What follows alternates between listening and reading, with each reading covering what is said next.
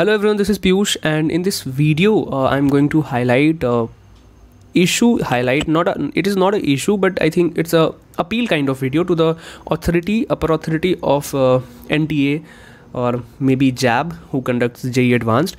Um, in this video obviously uh, as everybody know that uh, an extra attempt was given to the candidate of 2020 batch like the students who passed uh, their 12th in 2020 like they were given uh, an extra attempt in JEE advanced to appear uh, in the year 2022 that technically is not as per the rule of JEE advanced examination right?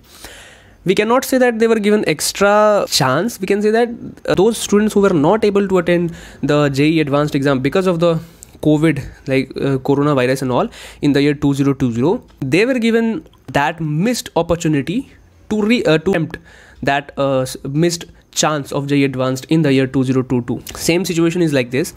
Now this time the turn is of 2021 students because everybody is forgetting that 2021 was the year which was the most affected year due to covid virus like covid uh, disease and all. So i think this topic is not being raised by a lot of people uh, who owns a lot of reach or a lot of students.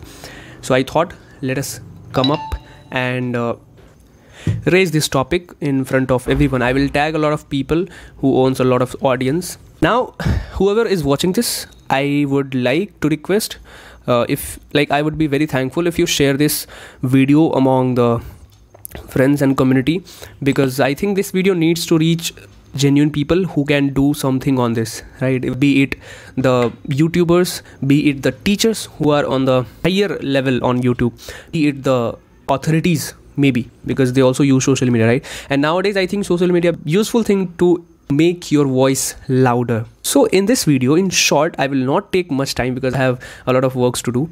So in short basically those students i want that the upper authority allow those students who missed their JEE advanced examination in the year 2021 due to the COVID situation because 2021 was the most affected year.